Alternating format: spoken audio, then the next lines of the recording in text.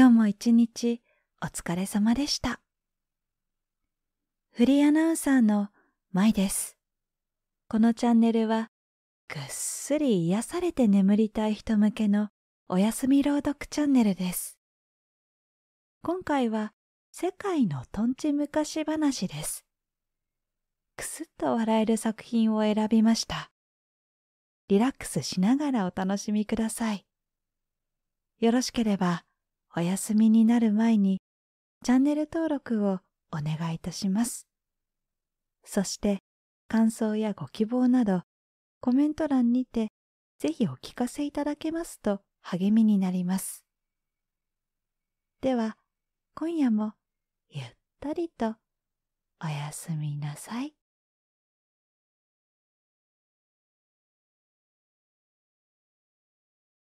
物知り博士むかーしむかし、クレープスという名の貧しい百姓がいました。クレープスは二頭の牛を使って車にいっぱいの焚き木を町へ運びました。そしてそれをニターレルである博士に売ったのです。百姓にお金を払うとき、博士はちょうどご飯を食べていました。百姓は博士が美味しいものを飲んだり食べたりするのを見て、とても羨ましくなってきました。博士になると、こんなに美味しいものが食べられるのか。そこで百姓は自分も博士になることができるかと尋ねました。ああ、なれるとも。と、博士は簡単に言いました。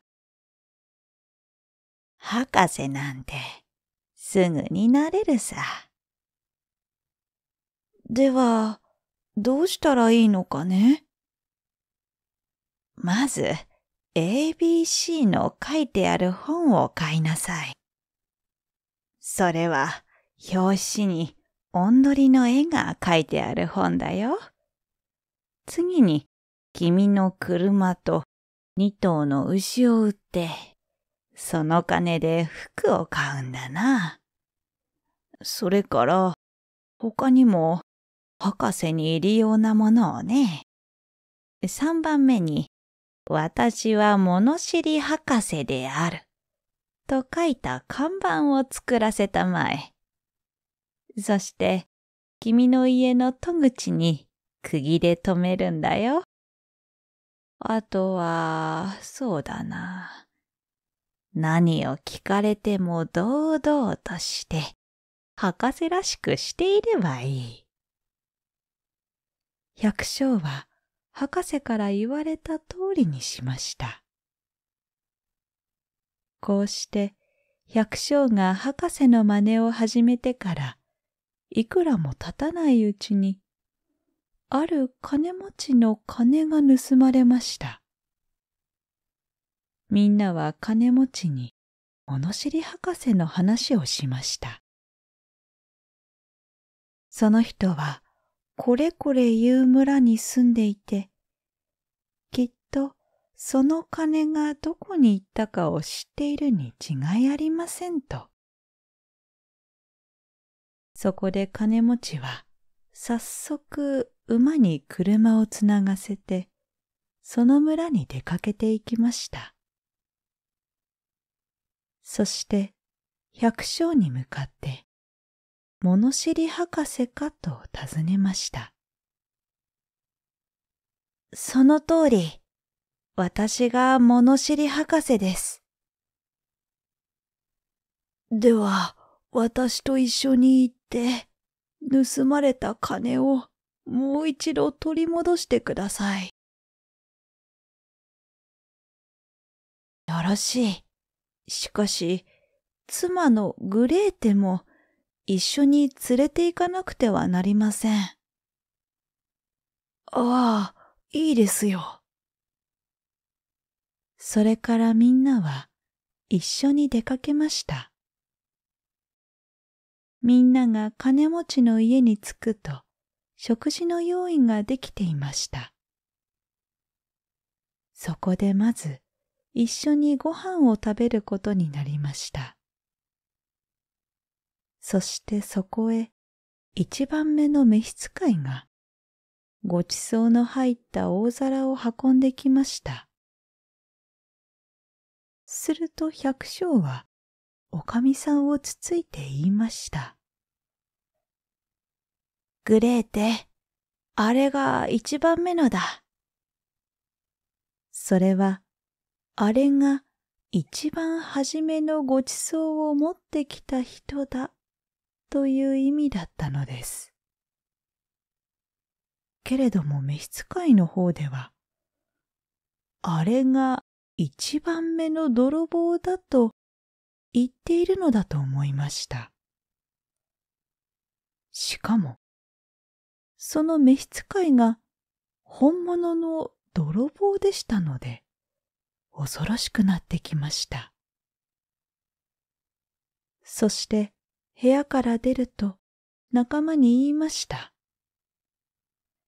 あの博士は何でも知っている。まずいことになっちまったぞ。奴は僕のことを一番目のだと抜かしたんだ。そこで二番目の召使いは部屋に入るのが嫌でたまりません。でも入らないわけにはいきません。次の召使いが大皿を持って入ってくると、百姓はおかみさんをつついて言いました。グレーテ、あれが二番目のだ。この召使いも同じように恐ろしくなってきました。そこで早く部屋から飛び出しました。そして三番目の召使いが入った時も百姓は言いました。グレーテ、あれが三番目のだ。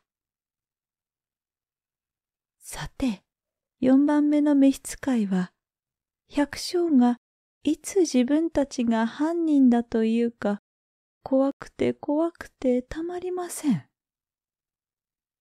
そこで物知り博士に向かって、外まで来てくれるようにと目配せしました。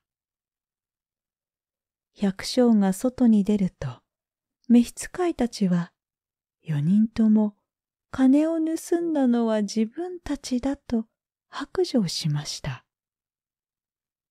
そして、もしあなたが告げ口さえしなければ、盗んだ金をそっくり返すばかりか、たんまりお礼をします。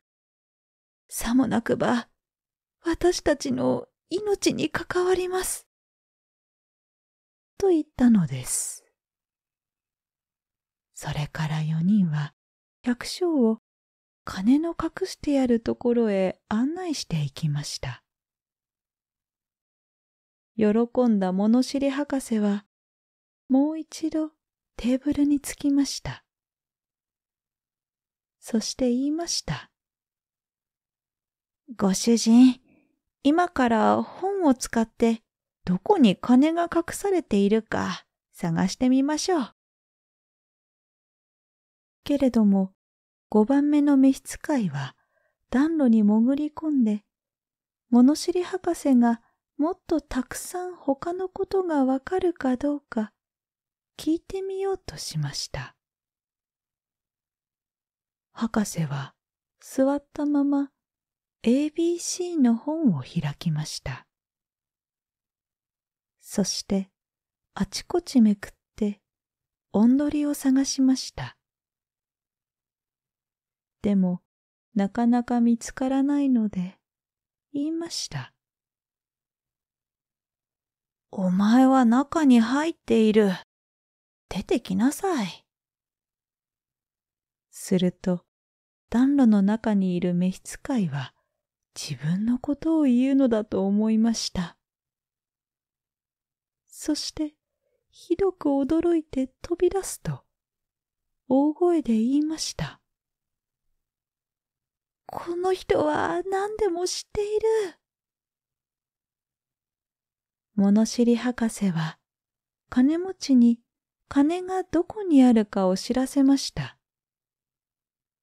けれども、誰が盗んだかは言いませんでした。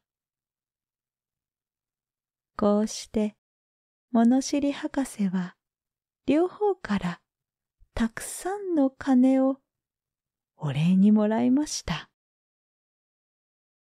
そしてとても名高い男になったのです。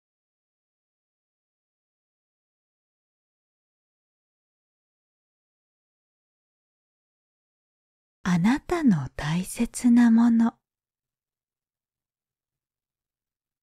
むかしむかし貧しい農家にとても賢い娘がいました。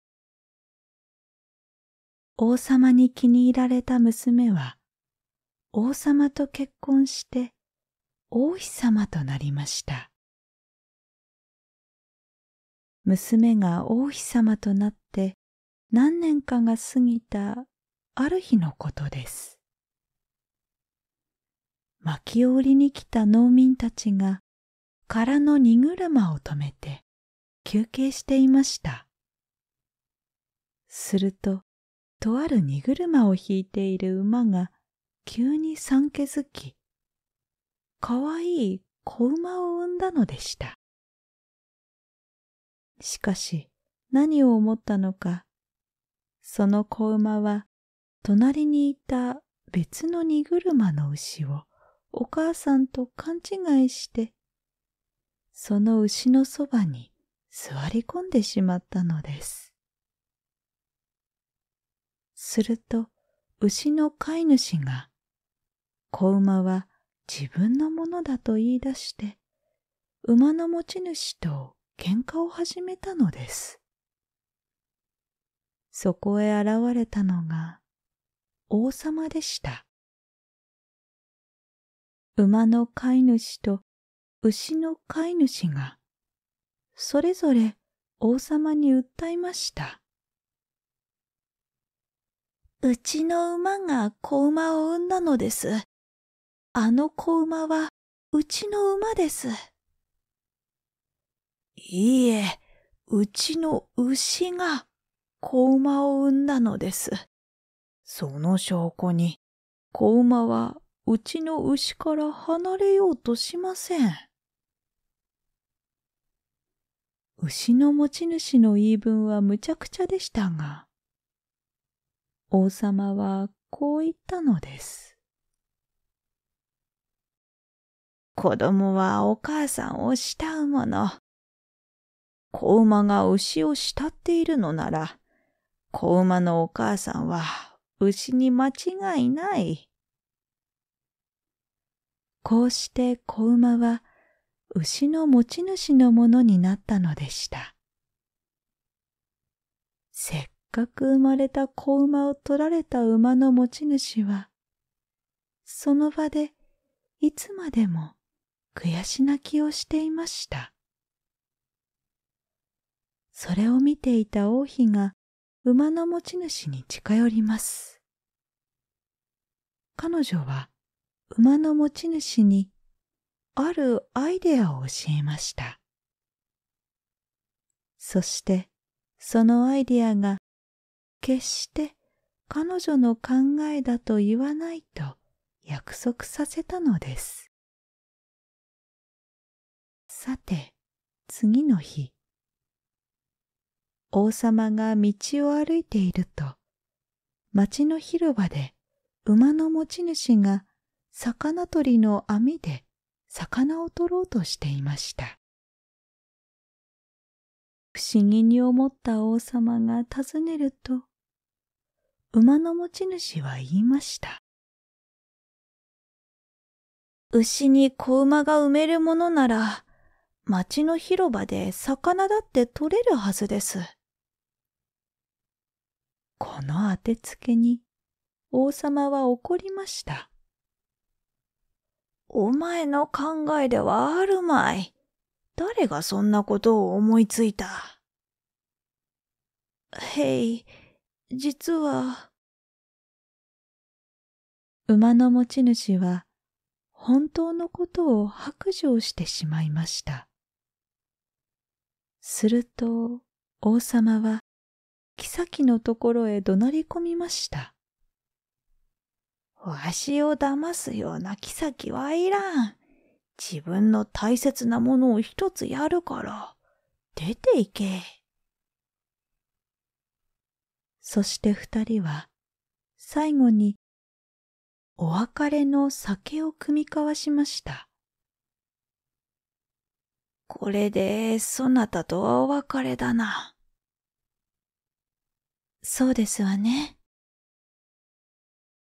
妃よ。はい。その、わしに何か言うことはないのか？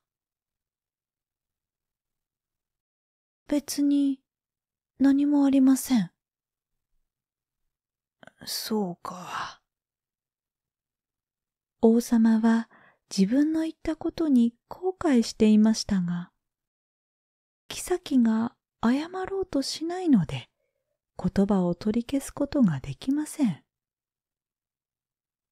王様はしょんぼりしていましたが、妃はというと、あれあれ？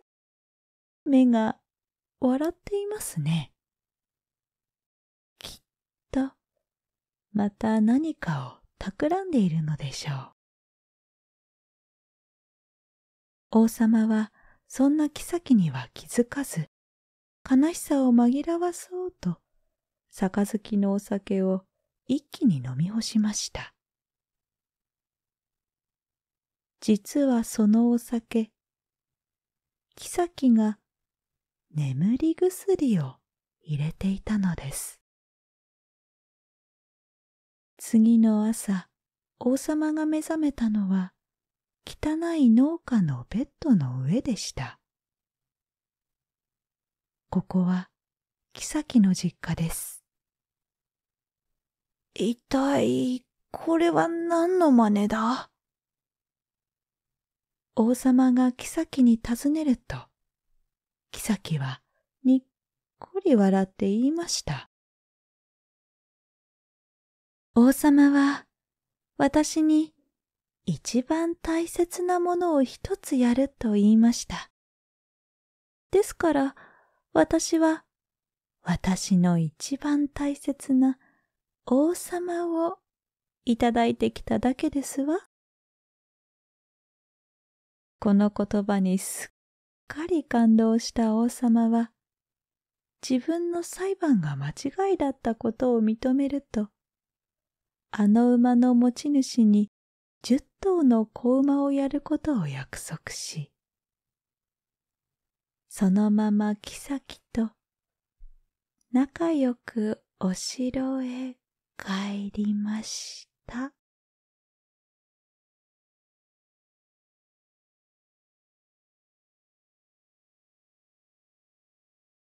悪魔を騙したイワン。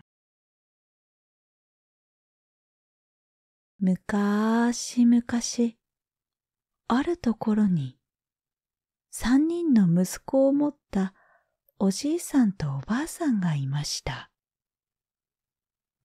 一家はその日の食べ物にも困るほど貧乏でした。そのうちにおばあさんが死にました。おじいさんもおばあさんの後を追うように重い病気になりました。おじいさんは死ぬ前に息子たちを呼んで言いました。お前たちに分けてやるものもないが、こんなもので我慢しておくれ。こう言って一番上の息子には黄色い猫をやり、真ん中の息子には引き薄を、一番下の息子のイワンにはわらじを作る木の皮をやりました。おじいさんが死んでしばらくすると、息子たちは世の中に出てみようと思いました。一番上の兄さんは黄色い猫を抱いて仕事を探しに行きました。どんどん歩いていくと夜になりました。兄さんは一軒の家の戸を叩いて止めてもらおうとしました。すると家の人がこんなことを言いました。旅のお方、この家はどこもかしこもネズミだらけでほとほと困っています。あなたもかじられてしまいますよ。心配いりません。なんとかなるでしょう。兄さんは黄色い猫と一緒に床の上へ寝ました。次の朝、家の人は目を覚ましてみてびっくり。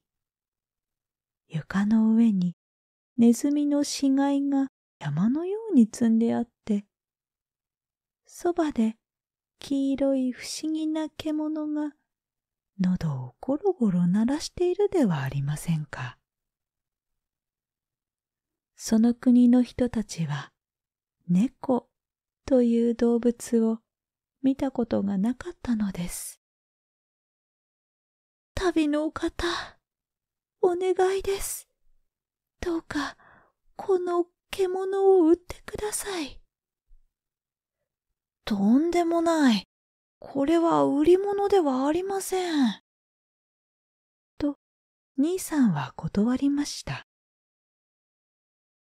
この話は、たちまち、この国の王様の耳に入りました。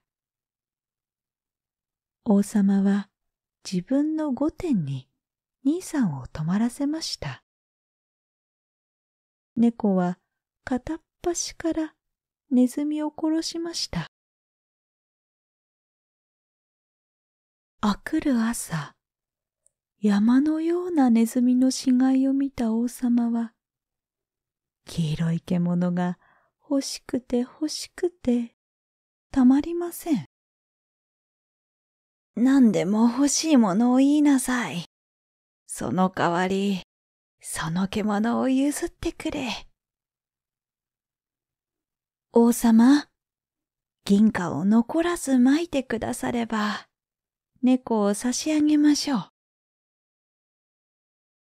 王様は仕方なく自分の銀貨をありったけ撒き散らしました。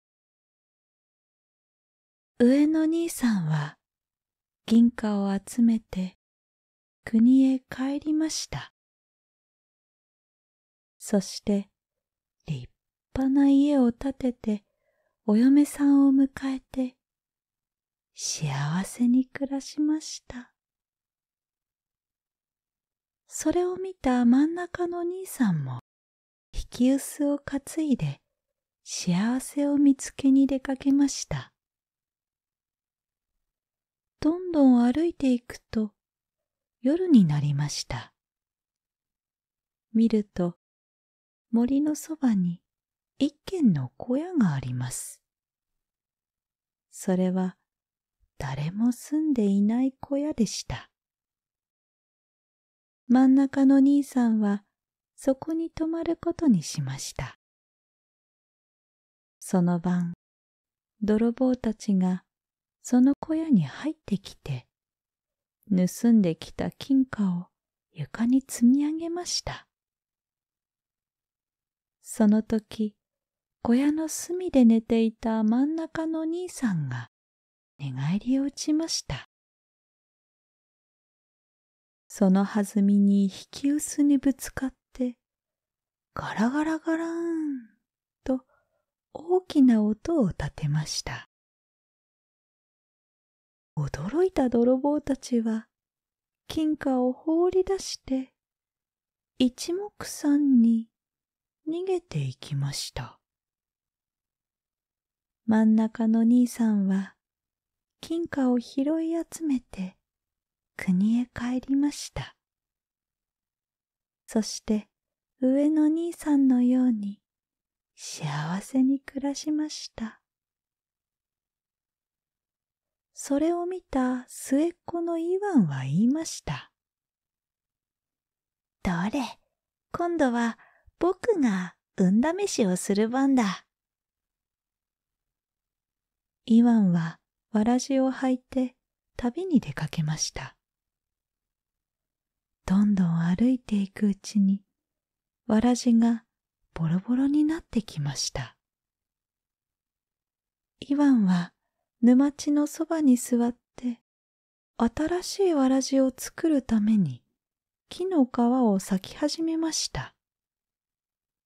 すると、突然、沼にブクブクブクーと泡が立って悪魔が現れました。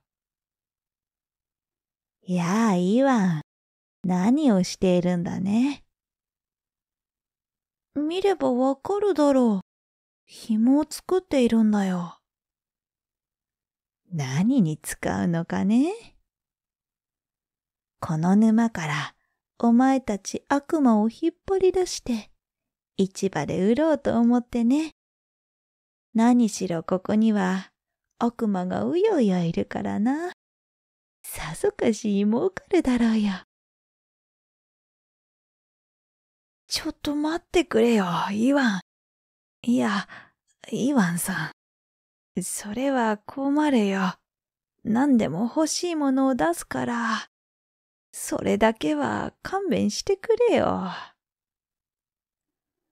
そうだな帽子にいっぱい金貨をくれれば、許してやろう。それぐらいなら、お安いご用だ。悪魔が金貨を取りに沼の中に潜った隙に、イワンは細くて深い穴を掘って、その上に自分の底の抜けた帽子を乗せました。やがて悪魔が金貨の袋を持って戻ってきました。悪魔はイワンの帽子の中に金貨を流しました。けれども、ちっとも金貨はたまりません。悪魔はおかしいなぁ。と思いましたが、仕方なくまた一袋持ってきました。これでどうにか帽子はいっぱいになりました。さあ、一人では重くて持ち上げられまい。手伝ってやろう。いや、手伝ってくれなくてもいいよ。イワンは断りましたが、悪魔は聞きません。よいしょと帽子を持ち上げて、帽子の下の穴を見つけてしまいました。こいつ、騙したな。どうしてやるか。親分のところへ聞きに行ってくるから、待ってろ。話を聞いた親分は、悪魔の中で一番の力持ちをイワンのところへやりました。力持ちは沼から飛び出すと、イワンに言いました。相撲に勝った方が金貨を取ることにしよう。弱ったなあ。こんな奴にはかないっこないぞ。と、イワンは思いながら、あたりを見回しました。向こうのもみの木の下に大きな熊が座っています。イワンは悪魔に言いました。いいとも。だが、俺と相撲を取る前に、あそこに俺のじいさんがいるから。まず、じいさんとやってみろ。力持ちは熊のところへかけていきました。さあ、来い、じいさん。熊は立ち上がると、いきなり悪魔をつかみました。その力のものすごいこと。悪魔の力持ちはとてもかなわず、やっとのことで逃げ出しました。とてもダメです。イワンのじいさんにだってかないません。それを聞いた悪魔の親分は、今度は一番足の速い男をやりました。早足は沼から飛び出してイワンに言いました。かけっこに勝った方が金貨を取ることにしよう。イワンは辺りを見回しました。見ると、藪の下にウサギがいます。いいとも。だが、その前に、あそこにいる末の息子とやってみろ。早足は早速うさぎのそばへかけていこうとしました。ところが、うさぎは悪魔が来たものですから、びっくりして藪の中へ飛び込みました。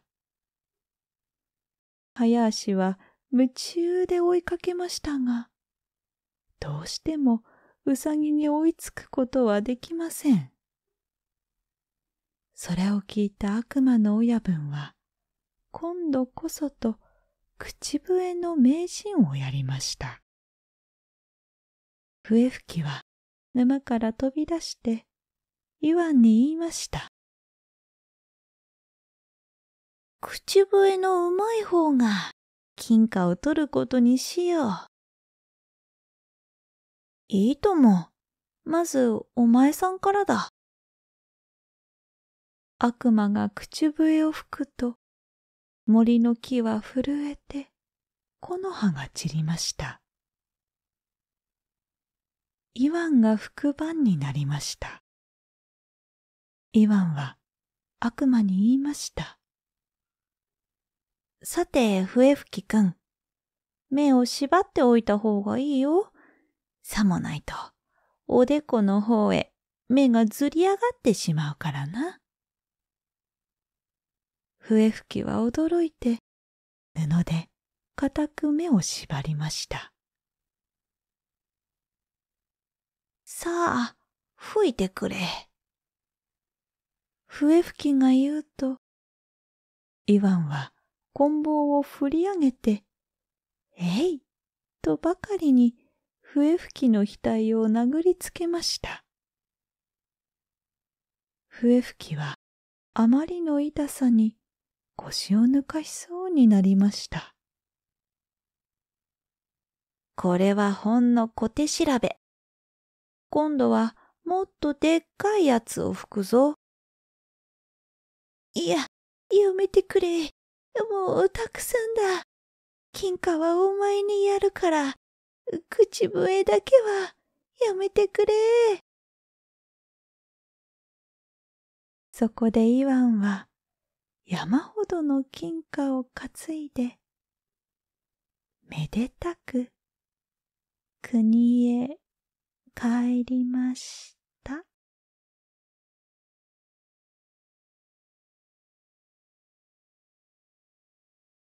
おのしりふくろう。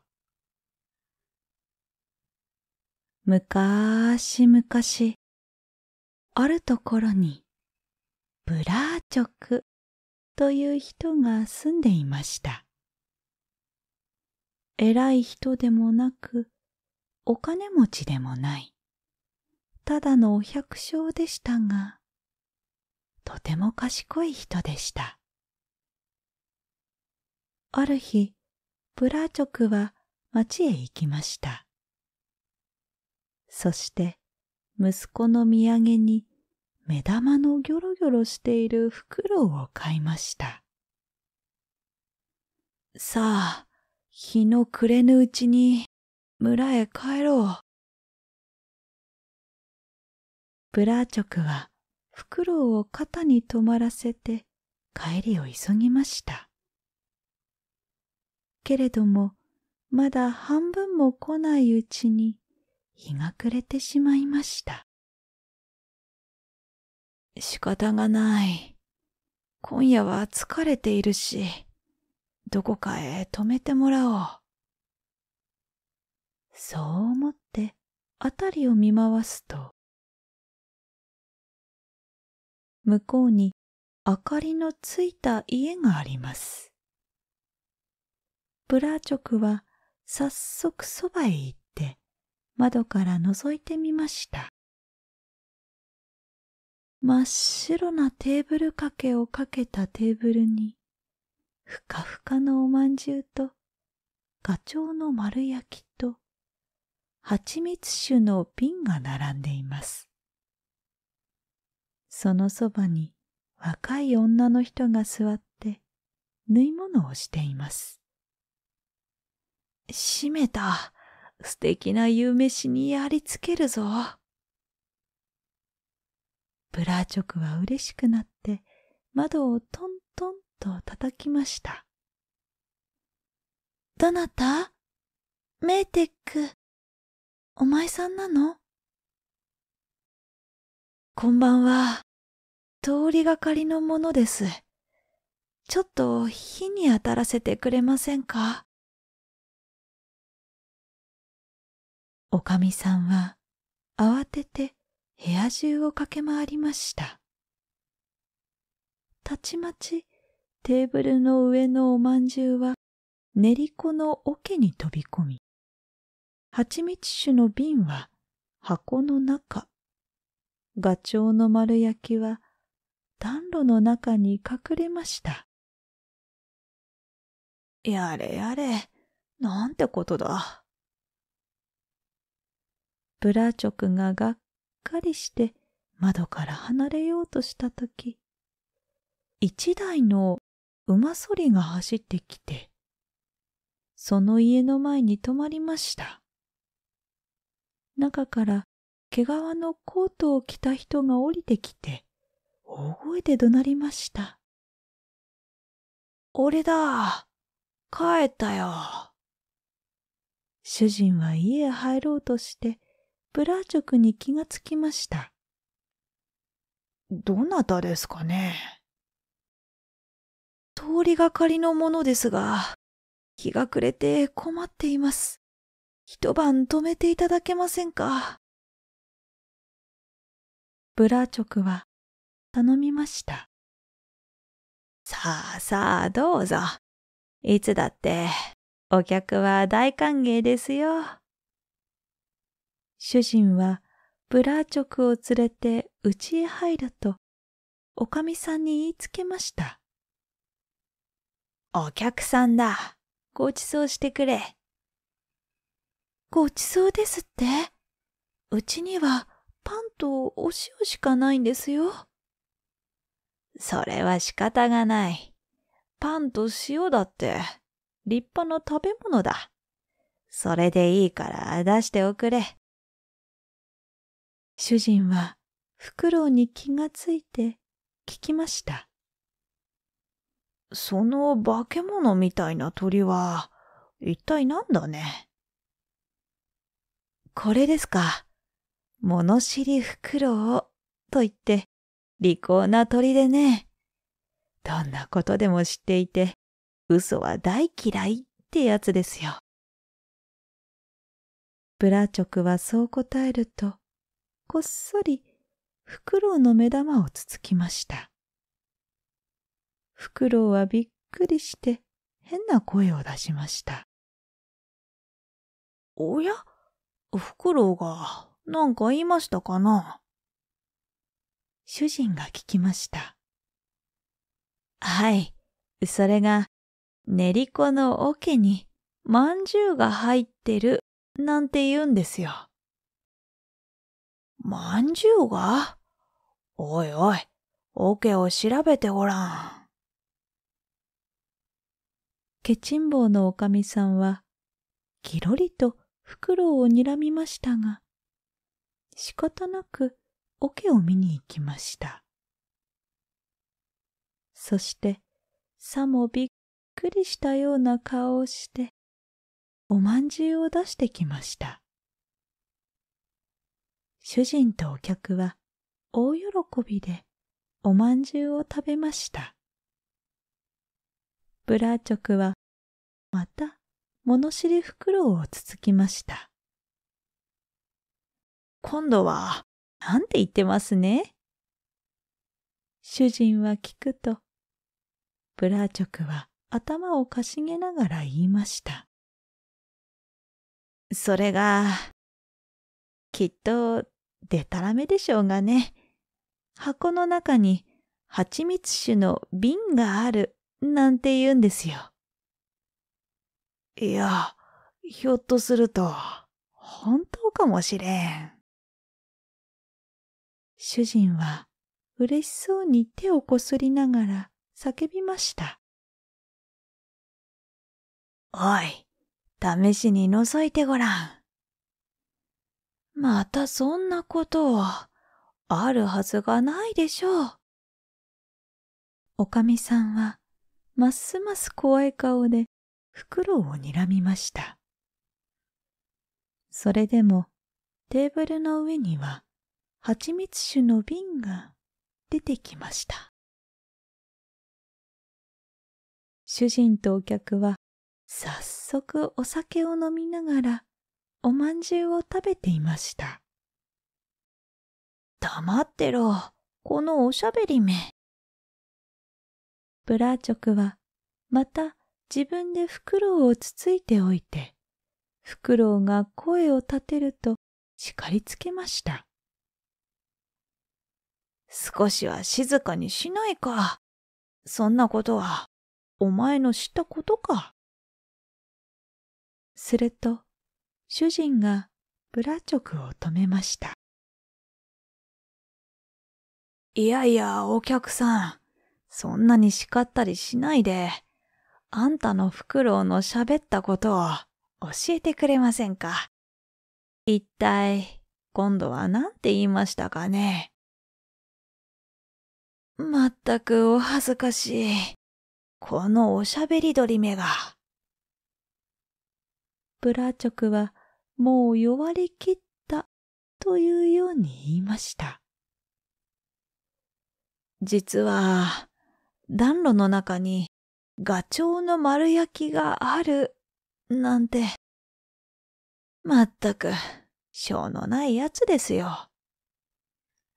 ガチョウの丸焼きですと。はは、そりゃすごい。お前聞いたかい？ガチョウだ。それも丸焼きだ。さあ持ってきてくれ。ついでにまだ何かないかよく見てこい。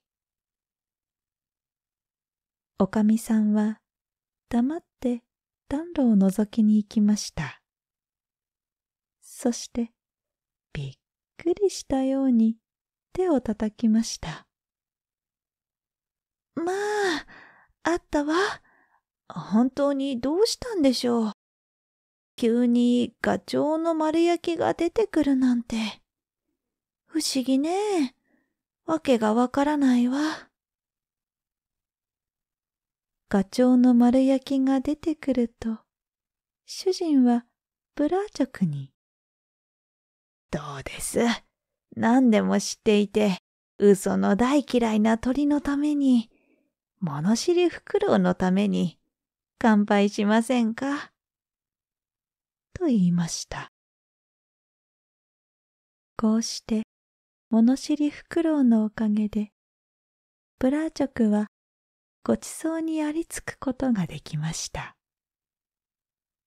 そして、あくる日も、昨日のごちそうの残り物で、たっぷり腹ごしらえをして家を出ました。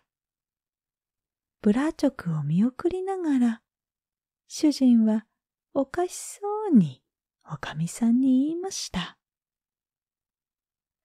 ははははは。見事にやられたなあ。あの男は大したやつだ。ケチンボなお前をやっつけたんだからな。主人はすべてを知っていたのかもしれませんね。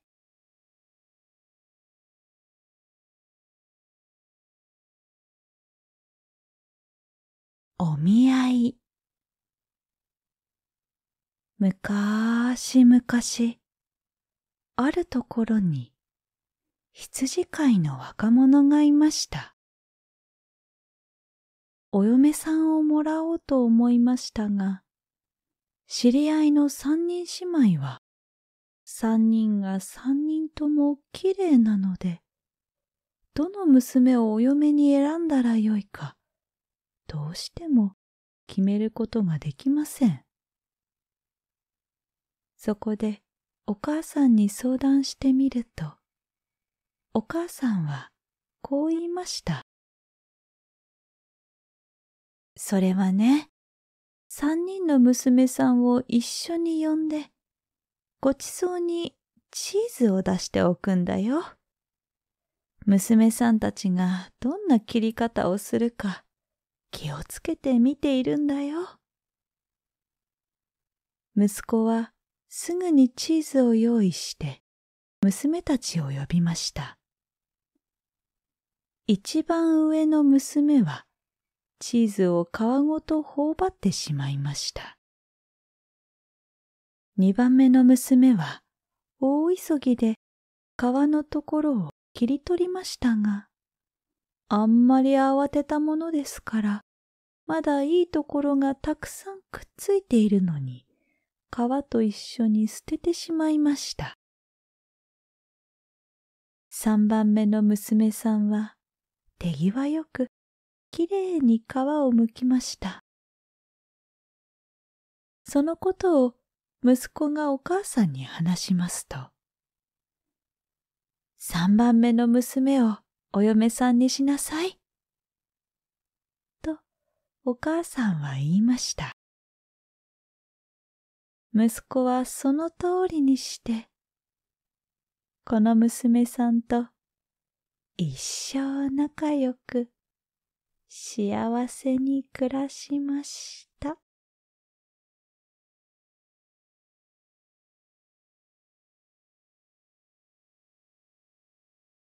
コウモリとイタチコウモリが地面に落ちてイタチに捕まってしまいました。殺されるに決まっていると思ったコウモリはどうか、命だけは助けてください。と頼みました。イタチは、ダメだね。あんたを話すわけにはいかないよ。なぜって、私は生まれつき、鳥は全部敵だと思っているからね。おや、よく見てください。私は鳥ではありません。ネズミですよ。コウモリは翼をたたむとネズミによく似ています。こうしてコウモリはうまく命拾いしました。しばらくしてこのコウモリはまた地面に落ちて別のイタチに捕まってしまいました。お願いです。私を食い殺さないでください。嫌だよ。私はネズミというネズミが全部嫌いだから。コウモリは翼を広げると。おや、私はネズミなんかではありませんよ。ご覧の通り、コウモリです。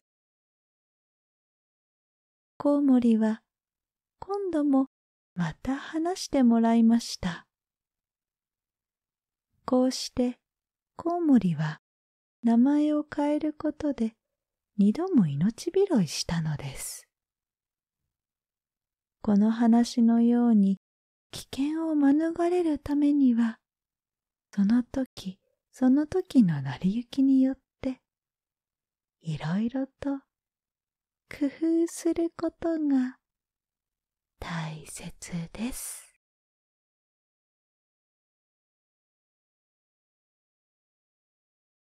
物知り博士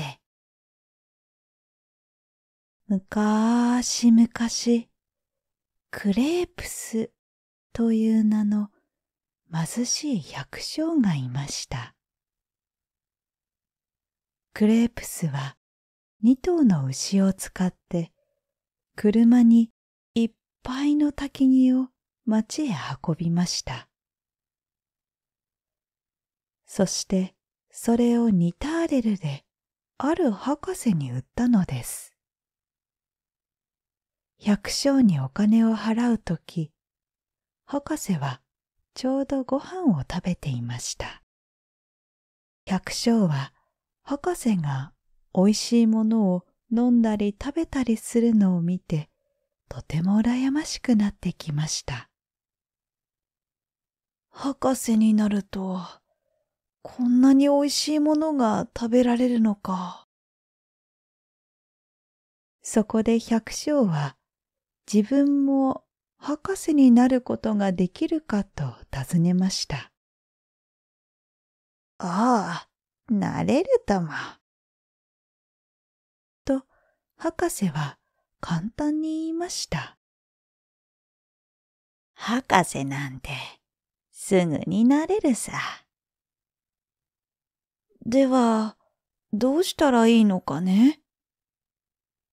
まず、ABC の書いてある本を買いなさい。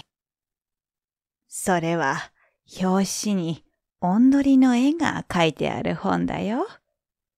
次に君の車と二頭の牛を売って、その金で服を買うんだな。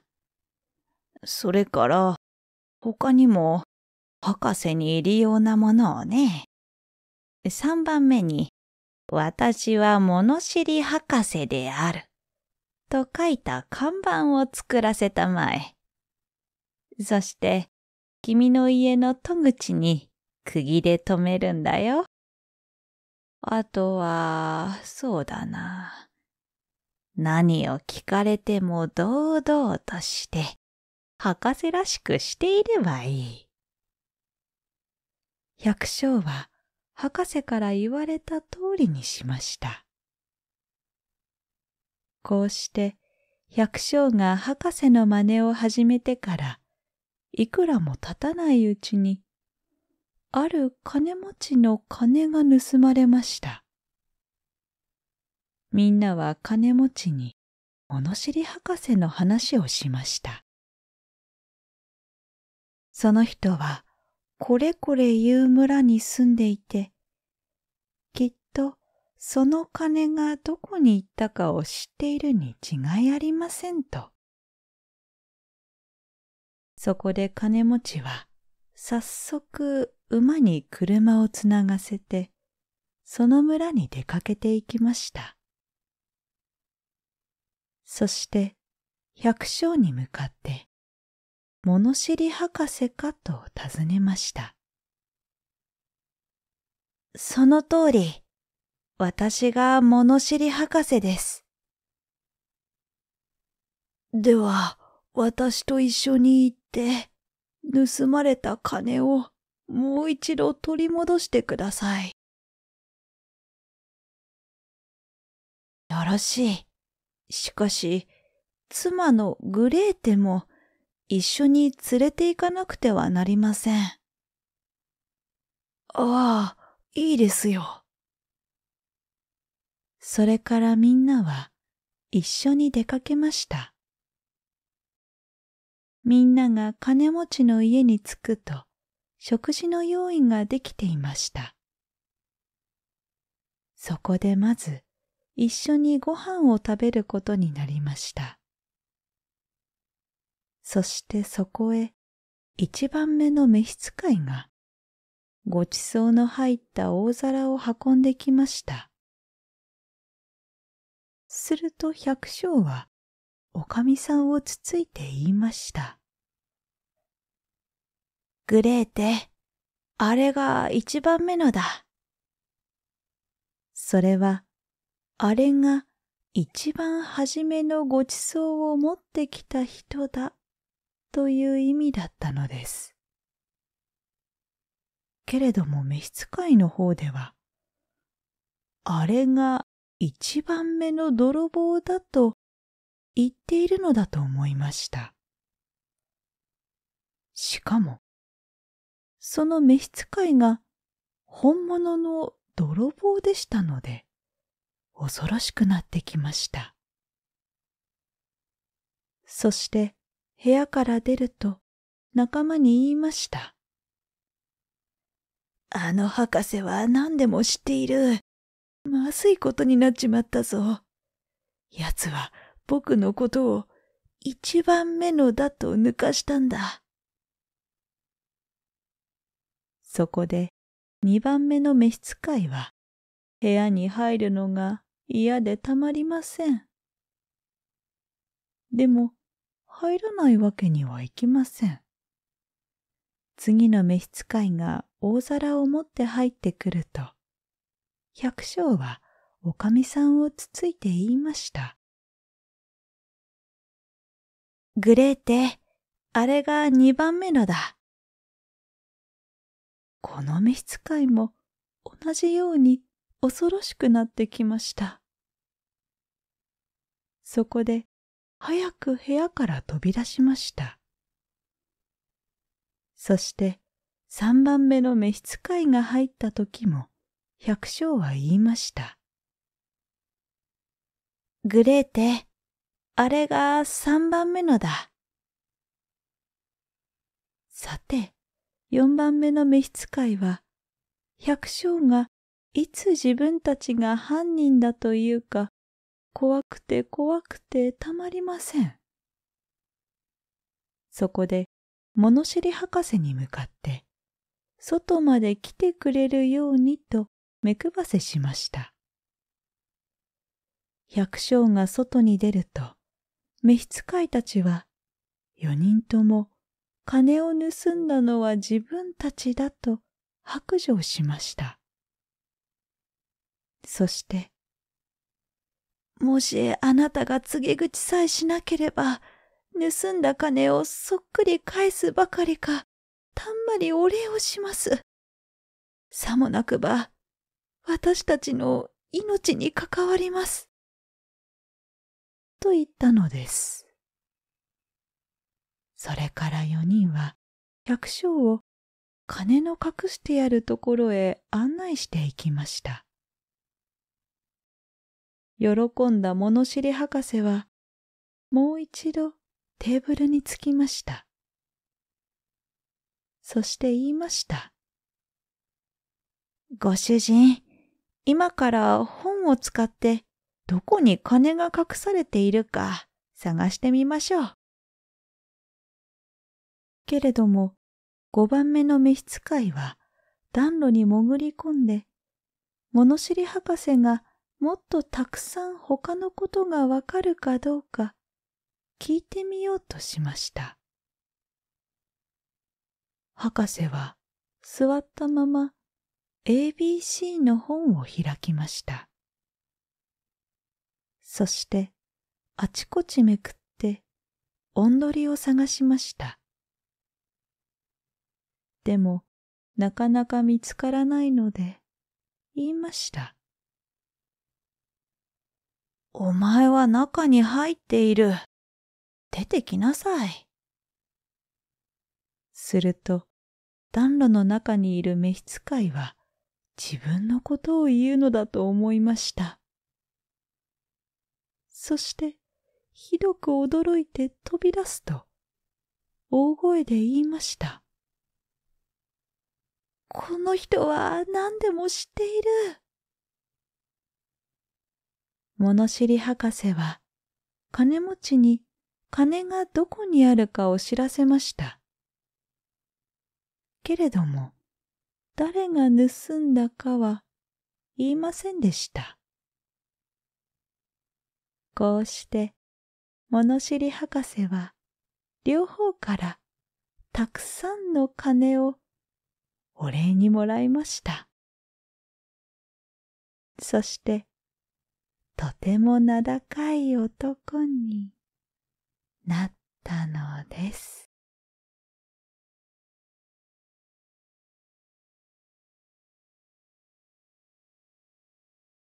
あなたの大切なものむかしむかし貧しい農家にとても賢い娘がいました。王様に気に入られた娘は王様と結婚して王妃様となりました。娘が王妃様となって何年かが過ぎたある日のことです。薪を売りに来た農民たちが空の荷車を止めて休憩していました。すると、とある荷車を引いている馬が急に産気づき、かわいい子馬を産んだのでした。しかし何を思ったのか、その子馬は隣にいた別の荷車の牛をお母さんと勘違いして、その牛のそばに座り込んでしまったのです。すると牛の飼い主が、子馬は自分のものだと言い出して、馬の持ち主と喧嘩を始めたのです。そこへ現れたのが王様でした。馬の飼い主と牛の飼い主がそれぞれ王様に訴えました。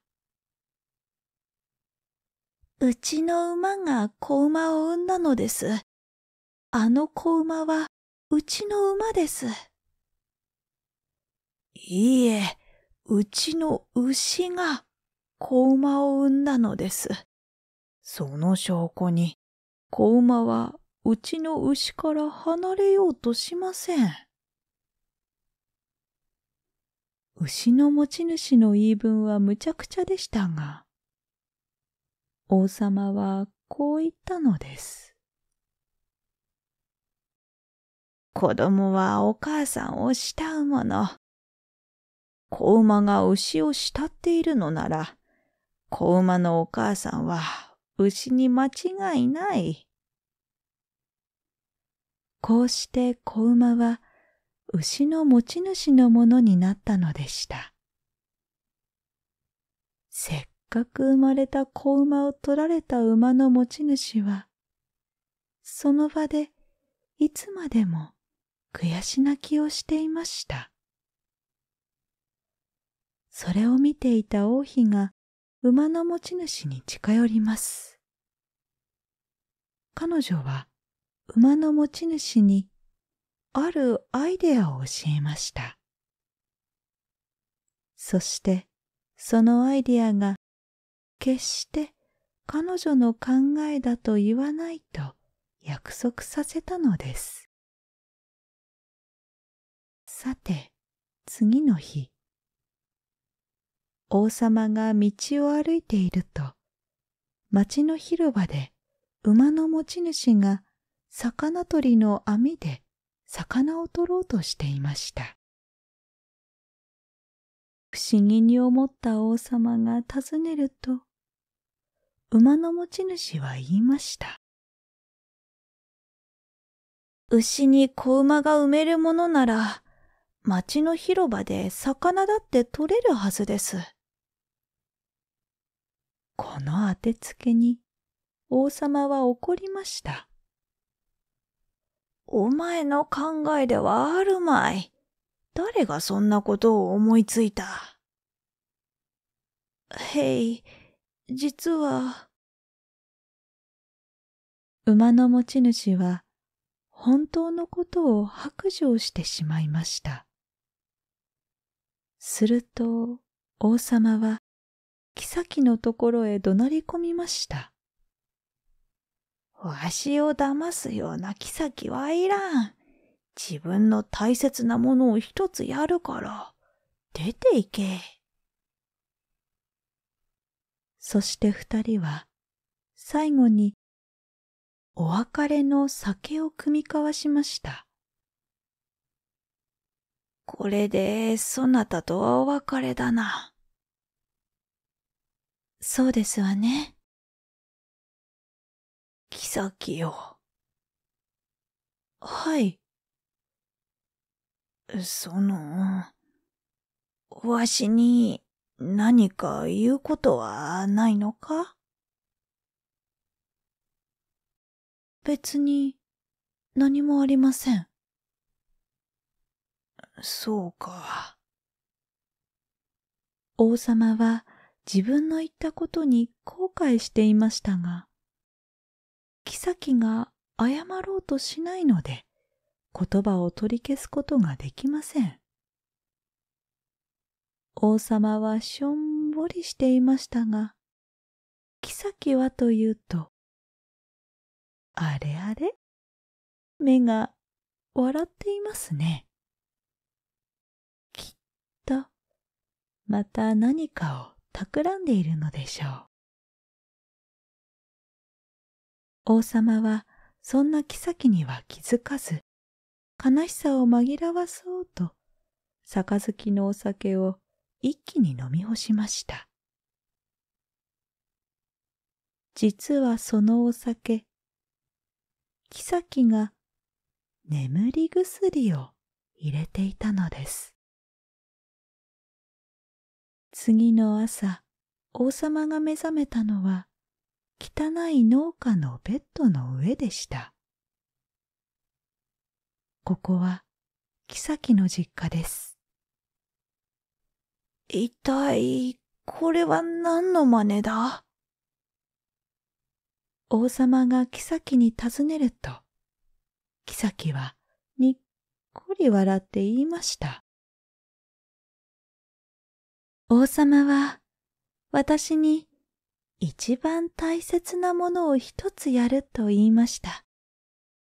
ですから私は私の一番大切な王様をいただいてきただけですわ。この言葉にすっかり感動した王様は自分の裁判が間違いだったことを認めるとあの馬の持ち主に十頭の子馬をやることを約束し、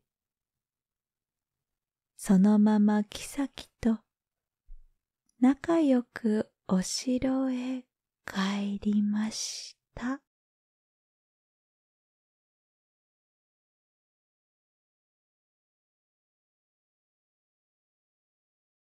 悪魔を騙したイワン。むかーしむかし、あるところに、三人の息子を持ったおじいさんとおばあさんがいました。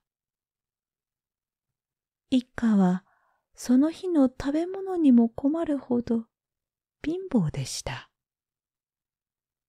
そのうちにおばあさんが死にました。おじいさんもおばあさんの後を追うように重い病気になりました。おじいさんは死ぬ前に息子たちを呼んで言いました。お前たちに分けてやるものもないが、こんなもので我慢しておくれ。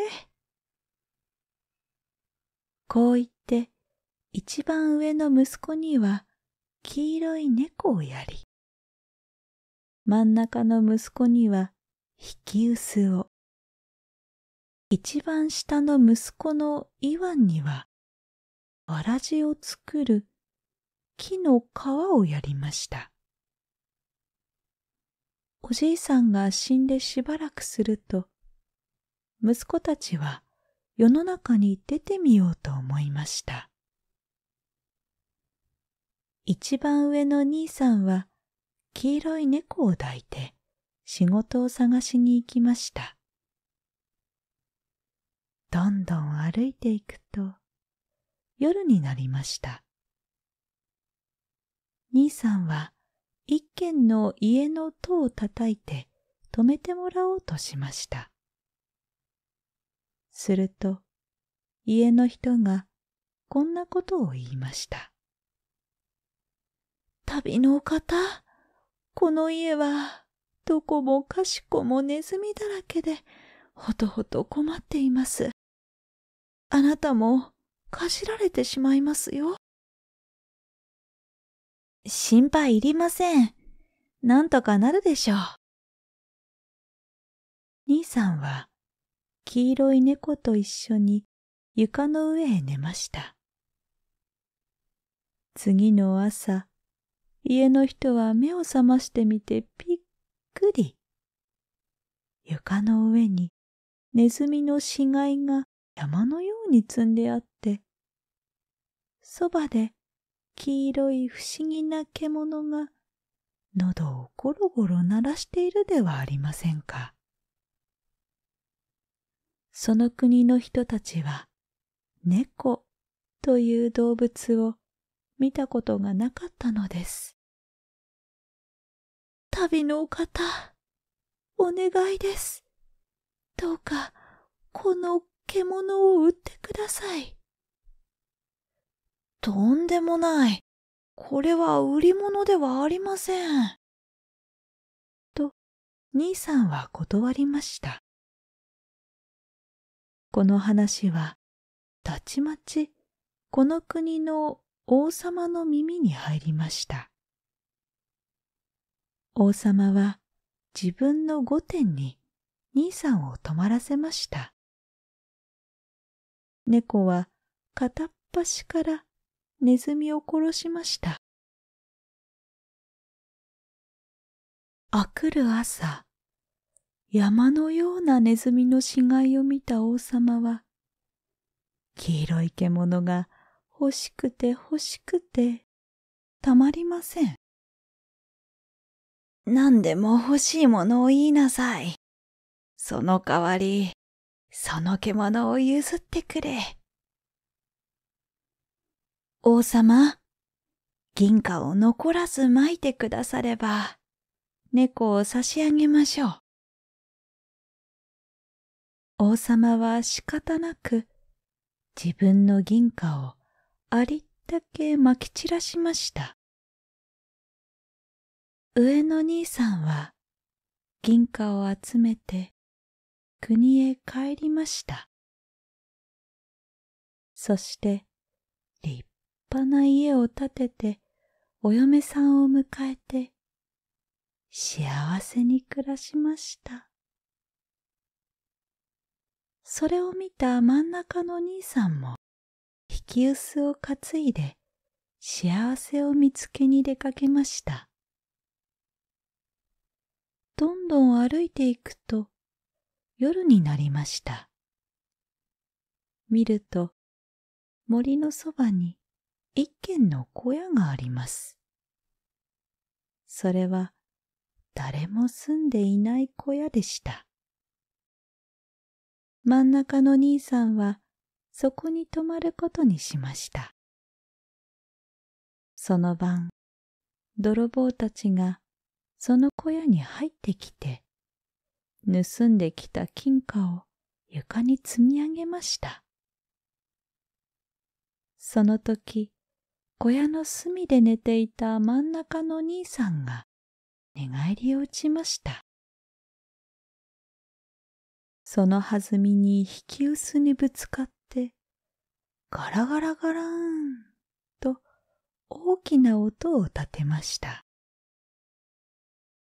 驚いた泥棒たちは金貨を放り出して一目散に逃げていきました。真ん中の兄さんは金貨を拾い集めて国へ帰りました。そして上の兄さんのように幸せに暮らしました。それを見た末っ子のイワンは言いました。どれ、今度は僕が運試しをする番だ。イワンはわらじを履いて旅に出かけました。どんどん歩いていくうちに、わらじがボロボロになってきました。イワンは沼地のそばに座って、新しいわらじを作るために木の皮を裂き始めました。すると、突然、沼にブクブクブクーと泡が立って悪魔が現れました。やあ、イワン、何をしているんだね。見ればわかるだろう。紐を作っているんだよ。何に使うのかねこの沼からお前たち悪魔を引っ張り出して市場で売ろうと思ってね。何しろここには悪魔がうようよいるからな。さぞかし儲かるだろうよ。ちょっと待ってくれよ、イワン。いや、イワンさん。それは困るよ。何でも欲しいものを出すから。それだけは勘弁してくれよ。そうだな。帽子にいっぱい金貨をくれれば、許してやろう。それぐらいなら、お安いご用だ。悪魔が金貨を取りに沼の中に潜った隙に、イワンは細くて深い穴を掘って、その上に自分の底の抜けた帽子を乗せました。やがて悪魔が金貨の袋を持って戻ってきました。悪魔はイワンの帽子の中に金貨を流しました。けれども、ちっとも金貨はたまりません。悪魔はおかしいなぁ。と思いましたが、仕方なくまた一袋持ってきました。これでどうにか帽子はいっぱいになりました。さあ、一人では重くて持ち上げられまい。手伝ってやろ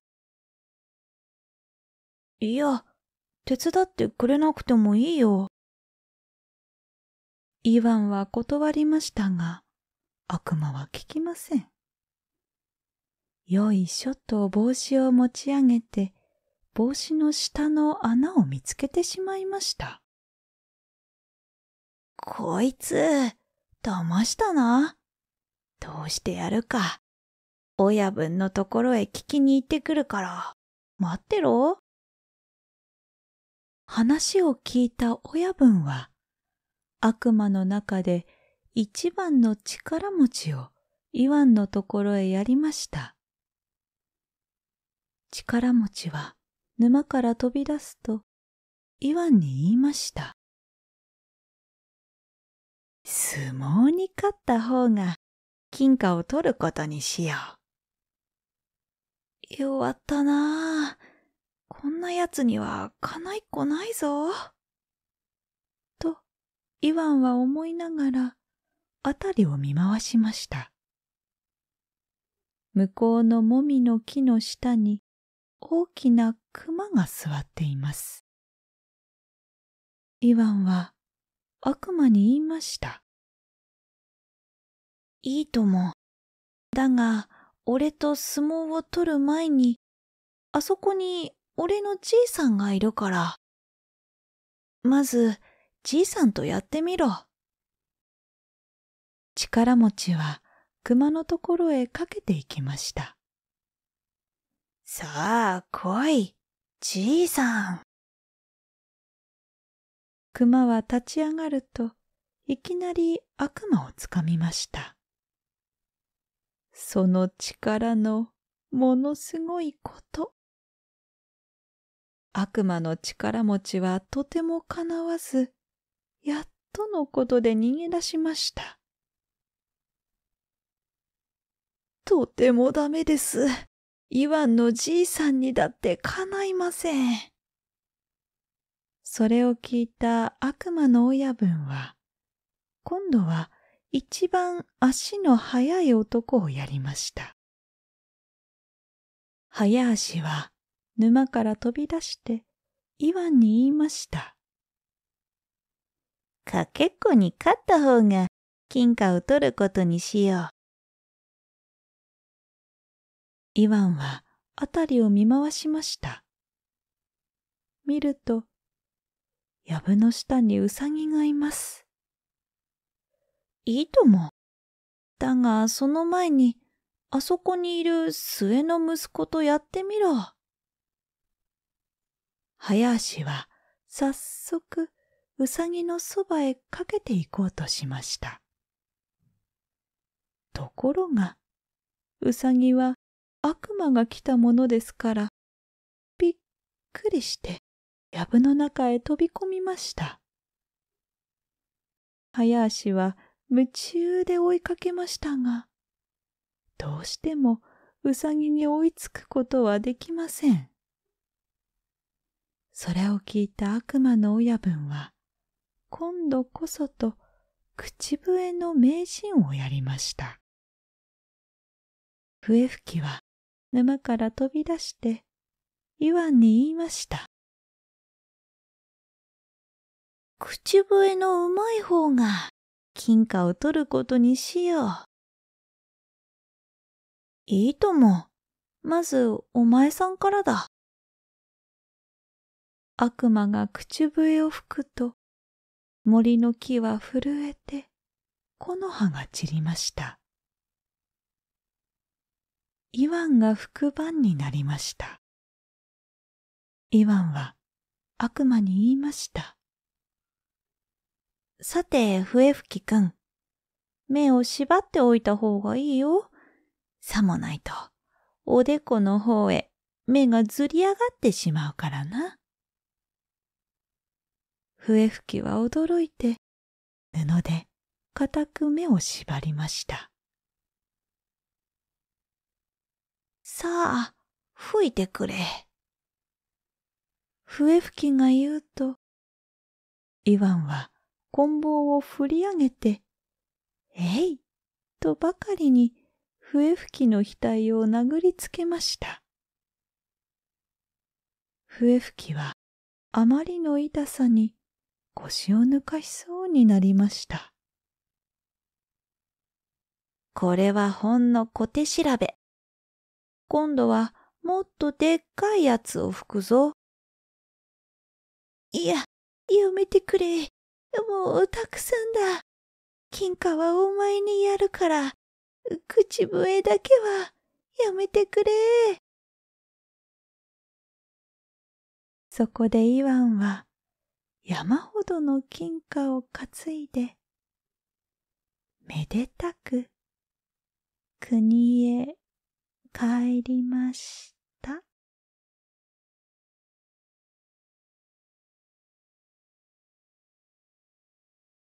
物知りふくろう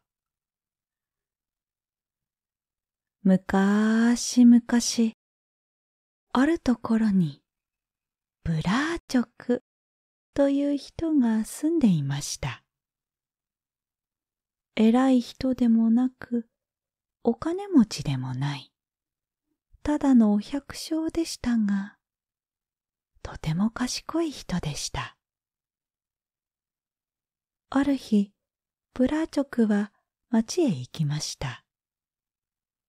そして、息子の土産に目玉のギョロギョロしているフクロウを買いました。さあ、日の暮れぬうちに村へ帰ろう。ブラーチョクはフクロウを肩に止まらせて帰りを急ぎました。けれども、まだ半分も来ないうちに日が暮れてしまいました。仕方がない。今夜は疲れているし、どこかへ泊めてもらおう。そう思って辺りを見回すと、向こうに明かりのついた家があります。ブラーチョクは早速そばへ行って窓から覗いてみました。真っ白なテーブル掛けをかけたテーブルにふかふかのおまんじゅうとガチョウの丸焼きと蜂蜜酒の瓶が並んでいます。そのそばに若い女の人が座って縫い物をしています。閉めた。素敵な夕飯にやりつけるぞ。ブラーチョクは嬉しくなって窓をトントンと叩きました。どなた？メーテック。お前さんなのこんばんは。通りがかりのものです。ちょっと火に当たらせてくれませんか？おかみさんは慌てて部屋中を駆け回りました。たちまちテーブルの上のおまんじゅうは練り粉の桶に飛び込み、蜂蜜酒の瓶は箱の中、ガチョウの丸焼きは暖炉の中に隠れました。やれやれ、なんてことだ。ブラーチョクががっかりして窓から離れようとしたとき、一台の馬そりが走ってきて、その家の前に止まりました。中から毛皮のコートを着た人が降りてきて、大声で怒鳴りました。俺だ帰ったよ主人は家へ入ろうとして、ブラーチョクに気がつきました。どなたですかね通りがかりのものですが、日が暮れて困っています。一晩泊めていただけませんかブラーチョクは頼みました。さあさあどうぞ。いつだってお客は大歓迎ですよ。主人はブラーチョクを連れて家へ入ると、おかみさんに言いつけました。お客さんだ。ごちそうしてくれ。ごちそうですって？うちにはパンとお塩しかないんですよ。それは仕方がない。パンと塩だって立派な食べ物だ。それでいいから出しておくれ。主人はフクロウに気がついて聞きました。その化け物みたいな鳥は一体何だね？これですか。物知りフクロウと言って利口な鳥でね。どんなことでも知っていて嘘は大嫌いってやつですよ。ブラチョクはそう答えるとこっそりフクロウの目玉をつつきました。フクロウはびっくりして変な声を出しました。おや？フクロウが何か言いましたかな？主人が聞きました。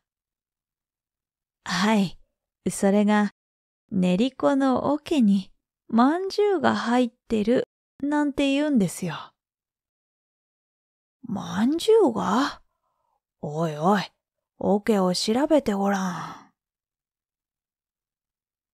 ケチンボウのおかみさんは、きろりとフクロウを睨みましたが、仕方なく桶を見に行きました。そしてさもびっくりしたような顔をして、おまんじゅうを出してきました。主人とお客は大喜びでおまんじゅうを食べました。ブラーチョクはまた物知り袋をつつきました。今度は、なんて言ってますね主人は聞くと、ブラーチョクは頭をかしげながら言いました。それが、きっと、でたらめでしょうがね。箱の中に蜂蜜酒の瓶がある、なんて言うんですよ。いや、ひょっとすると、本当かもしれん。主人は嬉しそうに手をこすりながら叫びました。おい、試しに覗いてごらん。またそんなことを、あるはずがないでしょう。おかみさんは、ますます怖い顔で袋を睨みました。それでも、テーブルの上には、蜂蜜酒の瓶が出てきました。主人とお客は早速お酒を飲みながらおまんじゅうを食べていました。黙ってろ、このおしゃべりめ。ブラーチョクはまた自分でフクロウをつついておいて、フクロウが声を立てると叱りつけました。少しは静かにしないか。そんなことは、お前の知ったことか。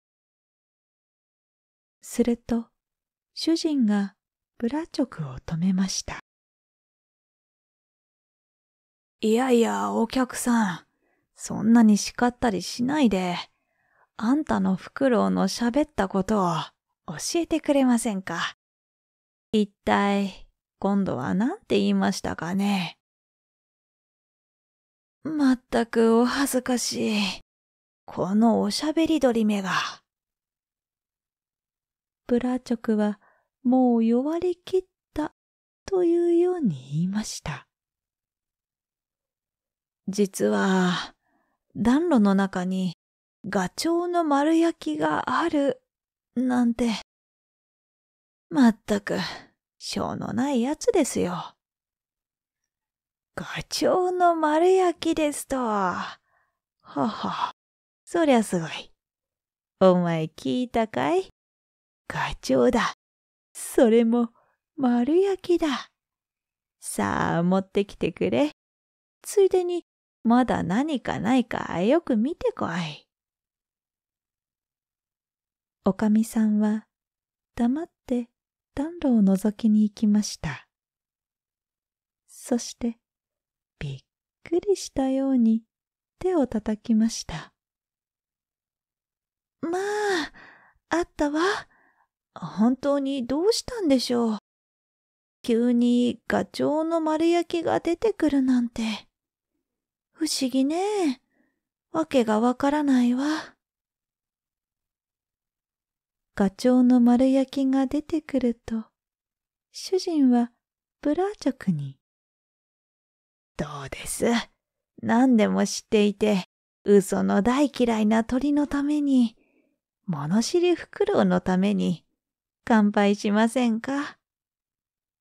と言いました。こうして、物知りフクロウのおかげで、ブラーチョクはごちそうにありつくことができました。そして、あくる日も、昨日のごちそうの残り物で、たっぷり腹ごしらえをして家を出ました。ブラーチョクを見送りながら、主人はおかしそうにおかみさんに言いました。ははははは。見事にやられたなあ。あの男は大したやつだ。ケチンボウなお前をやっつけたんだからな。主人はすべてを知っていたのかもしれませんね。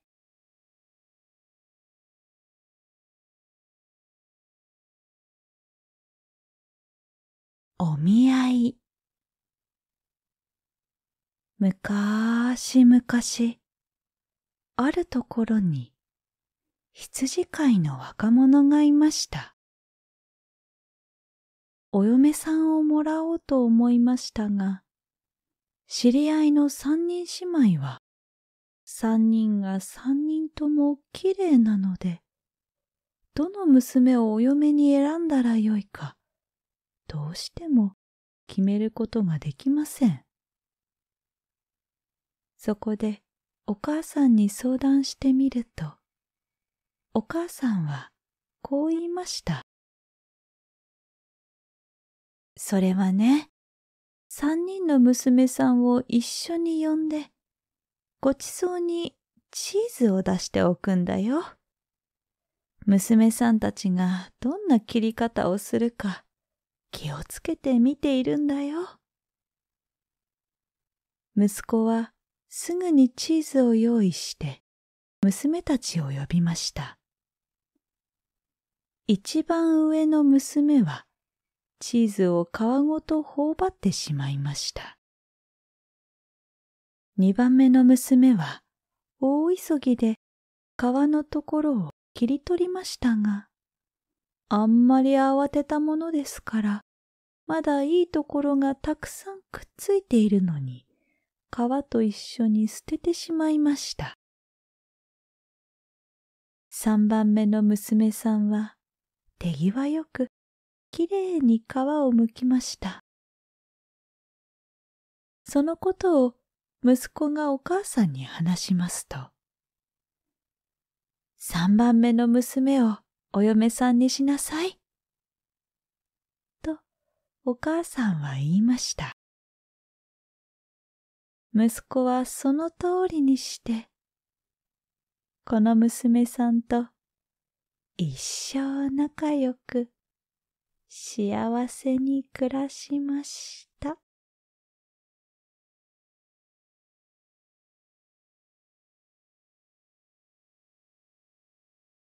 コウモリとイタチコウモリが地面に落ちてイタチに捕まってしまいました。殺されるに決まっていると思ったコウモリは、どうか命だけは助けてください。と頼みました。イタチは、ダメだね。あんたを話すわけにはいかないよ。なぜって、私は生まれつき、鳥は全部敵だと思っているからね。おや、よく見てください。私は鳥ではありません。ネズミですよ。コウモリは翼を畳むとネズミによく似ています。こうしてコウモリはうまく命拾いしました。しばらくしてこのコウモリはまた地面に落ちて別のイタチに捕まってしまいました。お願いです。私を食い殺さないでください。嫌だよ。私はネズミというネズミが全部嫌いだから。コウモリは翼を広げると。おや、私はネズミなんかではありませんよ。ご覧の通り、コウモリです。コウモリは今度もまた話してもらいました。こうしてコウモリは名前を変えることで二度も命拾いしたのです。この話のように危険を免れるためには、その時その時の成り行きによっていろいろと工夫することが大切です。